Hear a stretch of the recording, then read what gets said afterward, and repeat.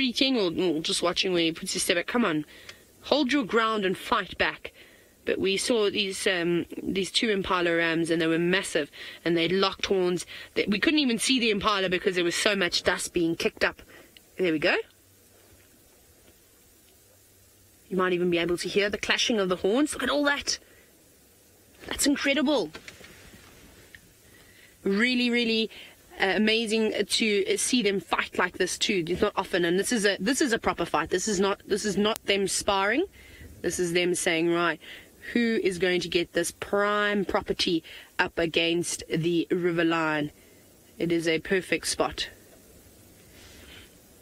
This is very interesting, and uh, it's it, it, seems as though the boys, the testosterone is peaking at the moment.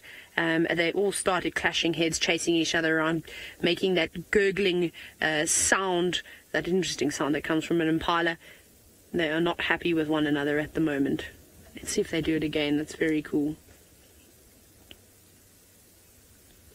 No! Are they going to come out? It's just a small shrub. Hopefully they don't start fighting there. Keep keep pushing one another, please. A little, little bit further to the left. A little bit further to the left. Thank you, Impala. Let's see, we'll wait for them to do it once more. I'm sure they're going to clash horns again. There's quite a few females in the area. And they're obviously going after that.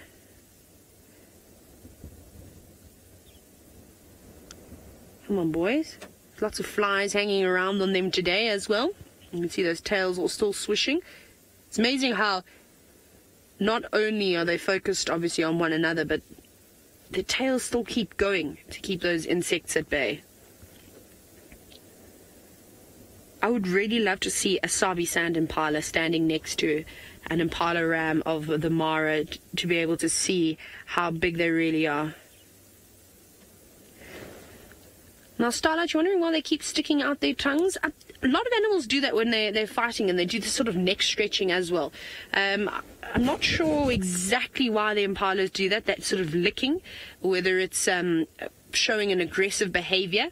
Um, and then they also do that neck rolling too. So it's obviously it's all got to do with the obviously with the preparation of, of a fight and having a scratch at the same time. It's amazing how they can squeeze all the things. Let's see, there we go. That's what I was talking about. That's some neck stretching. Perhaps that they're trying to assert dominance in a different way over one another. Come on, boys. One more clash of horns. Just one more. They're tapping. And this will go on for ages until one of them either gets injured and says, I'm out, or decides to completely become submissive and then run away. And he'll keep running because he'll be chased by the winner. There's no other big rams around. It's actually just them at the moment. Maybe they've been sizing each other up for quite some time. Look at them go. And this can be quite dangerous. You look how focused they are on one another. And there's some Thomson's gazelle at the back. You know, there could be a leopard, there could be a lion, there could be a cheetah, could be anything lurking in the background. And they, they, every now and then they stop and look over their shoulder, but um, but not very much. Oh my goodness! And there's a Thomson's gazelle male chasing a female. It's all happening here this is this is so funny. He's obviously quite excited about her. Run, girl! You can do it. Get away from him. Off he goes.